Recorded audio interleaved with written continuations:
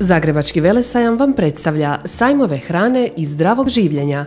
Od 25. do 28. studenog posjetite središnje nacionalno događanje koje predstavlja prepoznatljive sadržaje, drugačiji pristup, zanimljive novitete, povratak prirodnoj ravnoteži te nekonvencionalne i održive tehnike poboljšanja kvalitete života.